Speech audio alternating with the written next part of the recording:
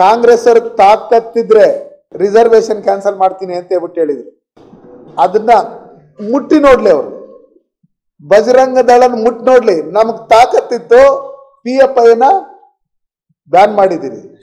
ನಮಗ್ ತಾಕತ್ತಿತ್ತು ರಾಮ ಮಂದಿರ ಕಟ್ಟಿದಿರಿ.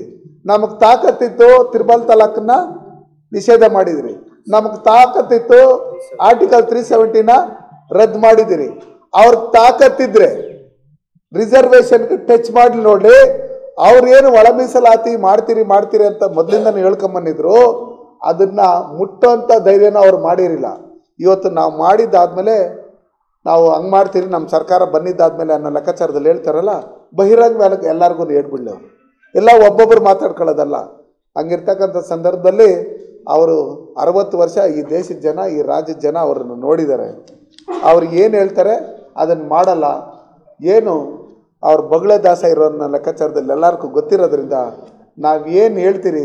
ಸನ್ಮಾನ್ಯ ನರೇಂದ್ರ ಮೋದಿ ಅವರು ಈ ದೇಶದ ಪ್ರಧಾನಮಂತ್ರಿಗಳಾಗಿದ್ದಾದ್ಮೇಲೆ ಅವ್ರು ಮಾಡಿರ್ತಕ್ಕಂಥ ಅಭಿವೃದ್ಧಿ ಕೆಲಸಗಳು, ಅವ್ರು ಕೊಟ್ಟಿರ್ತಕ್ಕಂಥ ಯೋಜನೆಗಳು ಪ್ರತಿಯೊಬ್ಬರಿಗೂ ತಲುಪಿರೋದ್ರಿಂದ ಜನತಾ ಜನಾರ್ದನ ಭಾರತೀಯ ಜನತಾ ಪಾರ್ಟಿ ಪರವಾಗಿದ್ದಾರೆ. ನೂರಕ್ಕೆ ನೂರು ಕರ್ನಾಟಕದಲ್ಲಿ ಭಾರತೀಯ ಜನತಾ ಪಾರ್ಟಿ ಸರ್ಕಾರ ಅಧಿಕಾರಕ್ಕೆ ಬರುತ್ತೆ. ಧನ್ಯವಾದಗಳು.